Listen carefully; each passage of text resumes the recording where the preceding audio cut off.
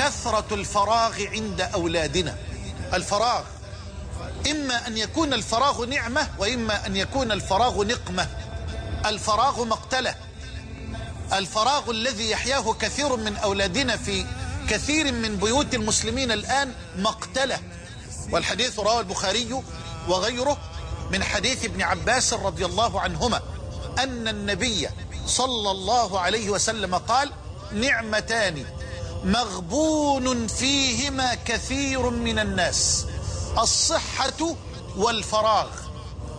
يعني من وظف الصحة والفراغ في خير للدين أو للدنيا فهو المغبوط.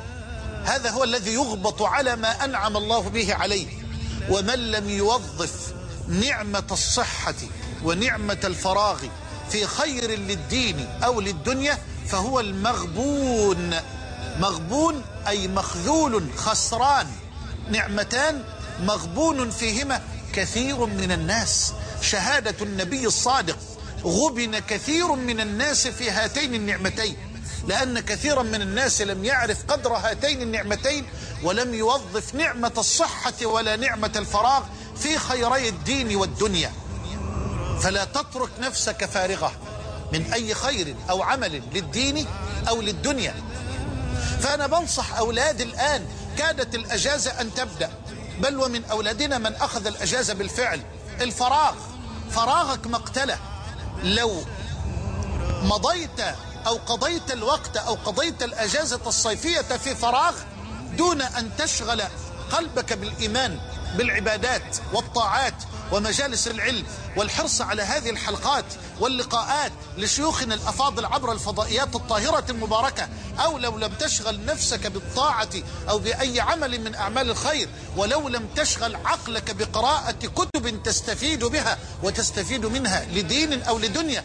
إيه الحرج أنك مثلا تعاهد ربك في هذا الصيف أن تحفظ نصف القرآن عشرة أجزاء أن تأخذ دورة في الكمبيوتر. إيه القرآن والكمبيوتر آه ما فيش حرج. لا حرج على الإطلاق. نريد لأولادنا أن يتفوقوا أن يكونوا مبدعين في كل مجالات الحياة. خذ لك قرص في الانجليزي ما فيش حرج على الإطلاق. مع القرآن مع قراءة كتاب الداء والدواء لشيخنا ابن القيم مثلا رحمه الله تعالى. ابدأ به مع قراءة كتاب جامع العلوم والحكم. للحافظ ابن رجب الحنبلي مع قراءة شرح كتاب رياض الصالحين للشيخ ابن عثيمين رحمه الله أو لأي عالم من العلماء. يبقى يجب عليك أيها الشاب الحبيب وأيها الابن الغالي ألا تترك نفسك فريسة للفراغ لأن الفراغ مقتلة. إن لم تشغل نفسك بالحق ستشغلك بالباطل. وبعدين الفراغ المادي. الفراغ المادي يعني أنا ماليش عمل ماليش وظيفة. مش الفراغ المادي يعني الفلوس لا. الفراغ الحسي ألا أشغل نفسي بعمل. لو أنا ماليش شغل لو ماليش وظيفة سأقضي النهار كله نائمة وسأقضي الليل كله على النواصي الشوارع والطرقات معاكسة النساء والبنات والفتيات. ليه ما تبحثش عن عمل؟ ما فيش عمل يناسبني يا عم الشيخ. مش بالضرورة يناسبك. مش بالضرورة تبدأ العمل مدير. اطلاقا ما حدش قال كده. لكن اشغل نفسك بأي عمل. بشرط أن يكون حلالا. ما دام العمل حلالا والله العظيم لو أتيت كما ذكرت قبل ذلك بصينية شاي وحطيت ترمس شاي ووقفت في مكان عام تبيع الشاي وترجع آخر النهار بعشرين جنيه والله العظيم شرف. شرف.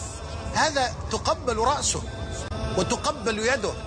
هتفضل قاعد كم سنة تنتظر الوظيفة أو تنتظر العمل المناسب. الفراغ ده مقتله.